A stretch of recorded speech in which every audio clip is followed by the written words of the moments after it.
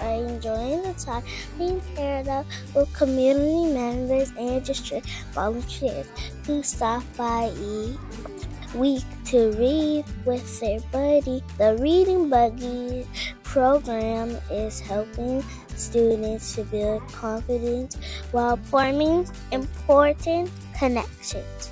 Go Bears! The indoor walking track, located at the newly built field house at the White Bear Lake Area High School North Campus, is officially open for public use. The track is open from 6 to 9 p.m. on Monday through Thursday each week.